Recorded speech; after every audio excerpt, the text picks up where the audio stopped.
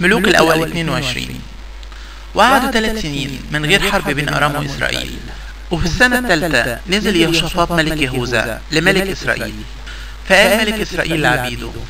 تعرفوا إن رموز جلعاد لينا وإحنا ساكتين عن إننا ناخدها من إيد ملك أرام وقال يهوشافاط تروح معايا للحرب رموز جلعاد فقال يهوشافاط لملك إسرائيل زي زيك شعبي زي شعبك وخيلي زي خيلك بعدين قال يهوشافاط لملك إسرائيل اسأل النهاردة عن كلام الرب.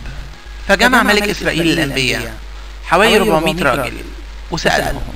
أروح لرموز جلعاد للحرب ولا ما أروحش فقالوا اطلع. فيزقها السيد في إيد الملك. فسأل يهوشافاط مفيش هنا لسه نبي للرب؟ فنسأله.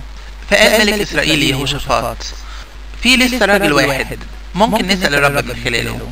ولكن أنا بكرهه.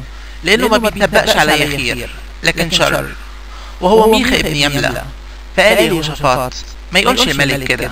فنده ملك إسرائيل مقصي وقال له سرع لي بميخا ابن يملة وكان ملك إسرائيل ويهوشافاط ملك يهوذا.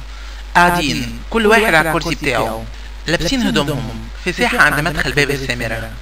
وكل الأنبياء بيتنبأوا قدامهم. وعمل صدقية ابن كنعان لنفسه. قرنين حديد وقال كده قال الرب بدا تنصح الأراميين لحد ما يفنوا وتنبأ كل الأنبياء كده وقالوا اطلع لرموز جلعاد وافلح فيزقها الرب في ايد الملك واما الرسول اللي راح عشان ينادي على ميخا. فقال له أهو كلام كل الأنبياء ببق واحد. خير للملك. فيبقى كلامك زي كلام واحد منهم.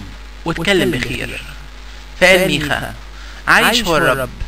اللي يقوله لي الرب بيه اتكلم ولما جه للملك سأله الملك يا ميخا نطلع لرموز جلعاد عشان نحارب ولا ما نطلعش. فقال له اطلع وافلح فيزقها الرب في إيد الملك. فقال له الملك كم مرة استحلفك؟ إنك ما تقوليش إلا الحق باسم الرب. فقال شفت كل إسرائيل. متشتتين على الجبال زي خرفان ملهاش راعي فقال الرب مفيش لدول أصحاب. فيرجعوا كل واحد لبيته بسلام فقال ملك إسرائيل ليهوشافاط مش قلت لك إنه ما بيتنبأش عليا خير لكن شر. وقال فاسمع بقى كلام الرب. شفت الرب قاعد على الكرسي بتاعه وكل عساكر السماء واقفة عنده على يمينه وعلى شماله. فقال الرب مين يغوي أخاب فيطلع ويقع في رموز جلعاد فقال ده كده وقال دوكها كده.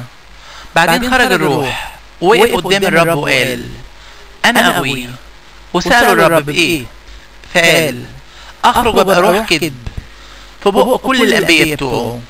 فقال أنت تغويه وتقدر عليه فاخرج واعمل كده. ودلوقتي أهو خلى الرب روح كذب في بق كل الأنبياء بتوعك دول. والرب اتكلم عليك بشر. فطلع صدقية ابن كنعانة وضرب ميخا على الفك.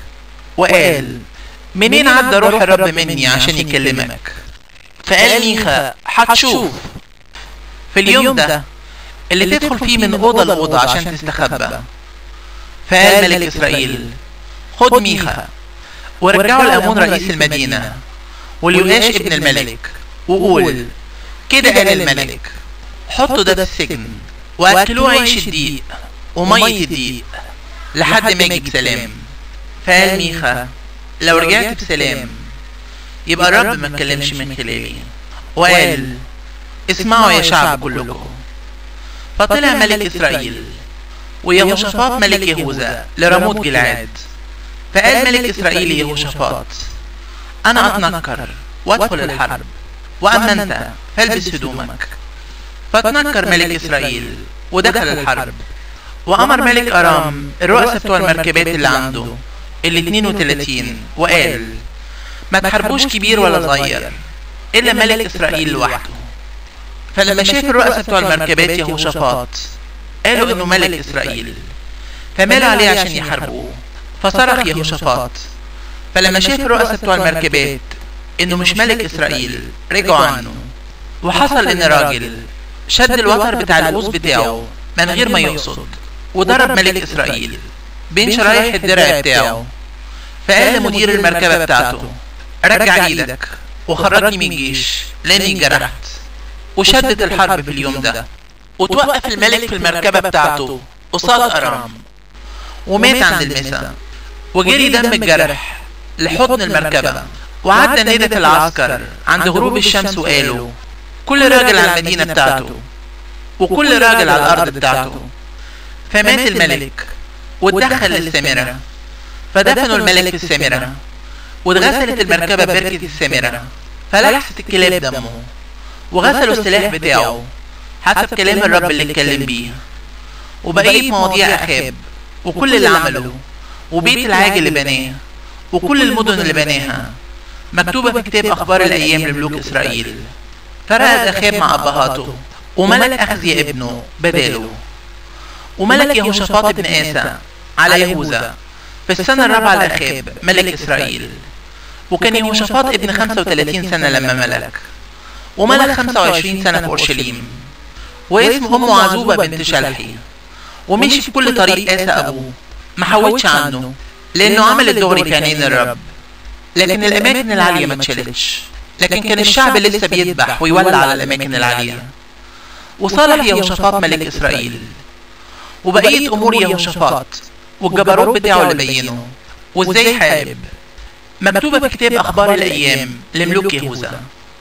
وبقية الشواذ جنسيا. اللي فضلوا في أيام آسى أبوه. فناهم من الأرض. وما كانش في أدوم ملك. واللي ملك وكيل. وعمل يهوشافاط سفن ترشيش. عشان تروح لأوفير. لأجل الذهب. فما راحتش. لأن السفن اتكسرت في أسيوم جابر. وقتها قال أخزي ابن أخاب ليهوشافاط يروح عبيدي مع عبيدك في السفن. فمرضيش يهوشافاط.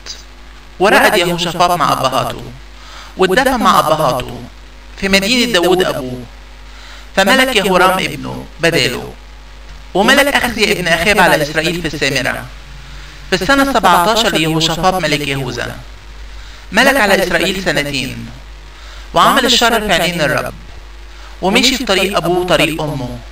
وطريق يربعام بن نباط اللي خلى إسرائيل يغلطوا وعبد البعل وركع له وغاظ الرب إله إسرائيل.